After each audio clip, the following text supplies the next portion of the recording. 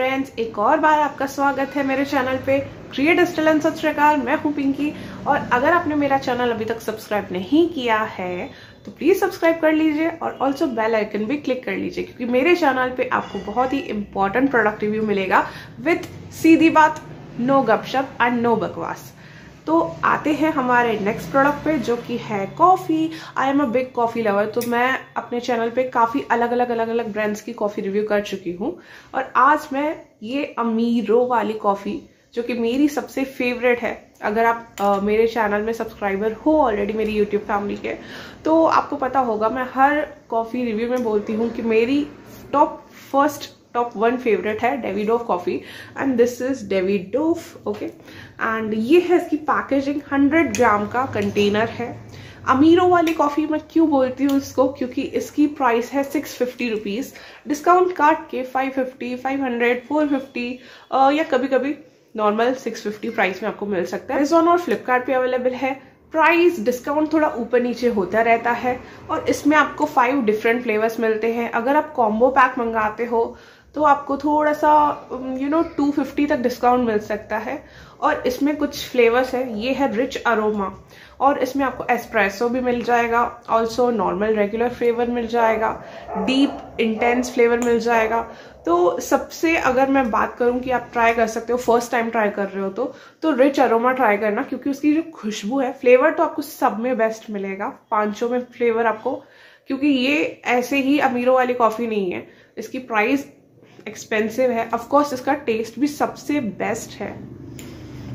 तो टेस्ट तो आपको सब में मिलेगा, लेकिन जो एक अरोमा रिच अरोमा स्ट्रॉन्ग खुशबू जिसको बोलते हैं, वो आपको इसी फ्लेवर में मिलेगा रिच अरोमा न्यूट्रिशन वैल्यू भी दिखाऊँगी. इंग्रेडिएंट्स लिस्ट में आपको 100% परसेंट अराबिका बीन्स मिलेंगे. आजकल जितनी भी अलग अलग ब्रांड्स की कॉफ़ी आ रही है, उन सब में अराबिक बीन्स का ही इस्तेमाल हो रहा है, जबकि जो पुरानी कंपनीज़ थी, जैसे कि Nescafe Nescafe Gold Bru Sunfeast उसमें कुछ मात्रा चिकोरी की मिलाई जाती है, जो कि अगर आप ज़्यादा क्वांटिटी में यूज़ करते हो कॉफ़ी तो आपको उससे हेल्थ इशू हो सकते हैं। Not from coffee but from the chicory जो उसमें एडेड होता है।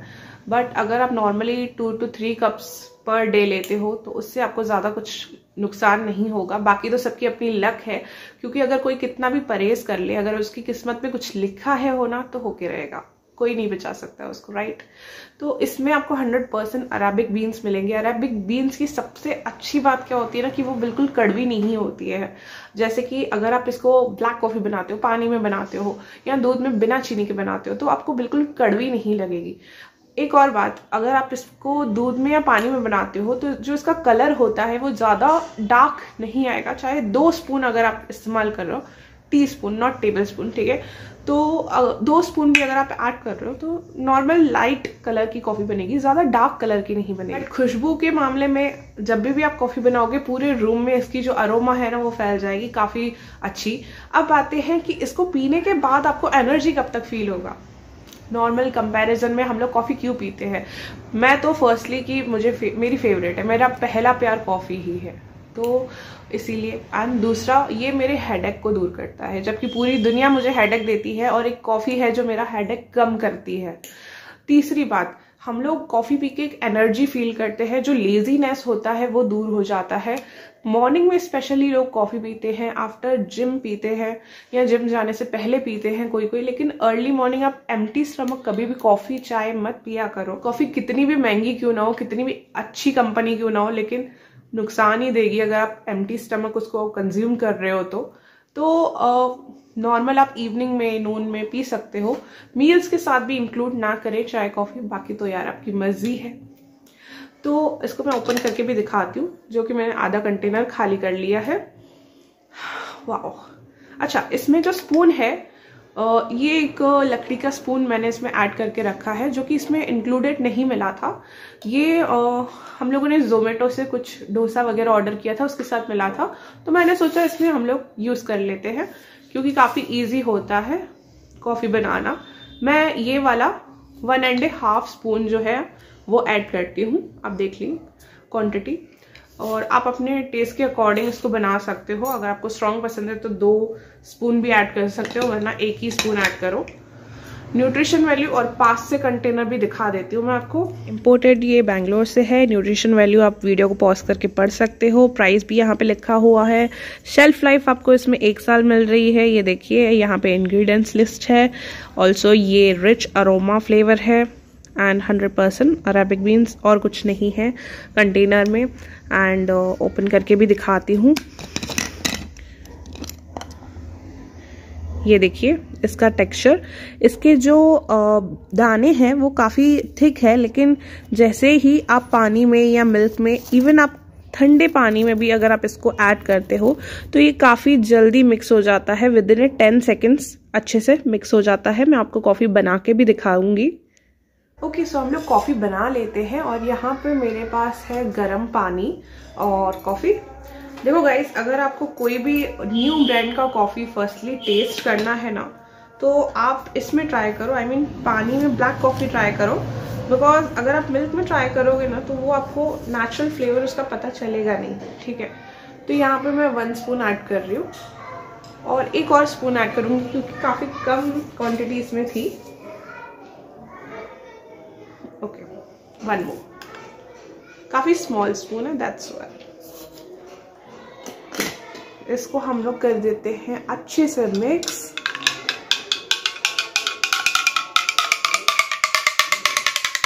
ओके सो यहाँ पे हमारी कॉफ़ी रेडी हो चुकी है और मैं आपको कांच के ग्लास में इसीलिए दिखाती हूँ ताकि आपको इसका कलर भी पता चल सके। और अगर आप इसको मिल्क में ऐड करोगे, जैसे कि मैंने आपको बताया तो वो उतना strong you know dark colour नहीं आएगा। अब इसको टेस्ट करते हैं। वैसे तो मैंने कर लिया है ऑलरेडी बहुत बार। खुशबू सबसे पहले सब कॉफ़ी से अलग है इसकी। टेस्ट अनदर लेवल पे आपको टेस्ट मिलेगा। जस्ट सुपर्ब पहले मैं अपनी कॉफ़ी एंजॉय करती हूँ फिर आगे का रिव्यू कंटिन्यू करती हूँ। ये कॉफ़ी एक्सपेंसिव है, इसीलिए नहीं बोलूँगी कि ये ज़्यादा टेस्टी है बट ये क्वालिटी के अकॉर्डिंग काफ़ी अच्छी है। मानती हूँ एक्सपेंसिव है, लेकिन अगर आपका बजट हो तो डेफिनेटली ट्राई करना। ये मेरा फ़र्स्ट परचेस नहीं है। मैंने काफ़ी बार परचेस किया है और अलग अलग टेस्ट इसके जो अलग अलग फ्लेवर है, वो ट्राई किए हैं, लेकिन मुझे सबसे अच्छा रिच अरोमा ही लगता है।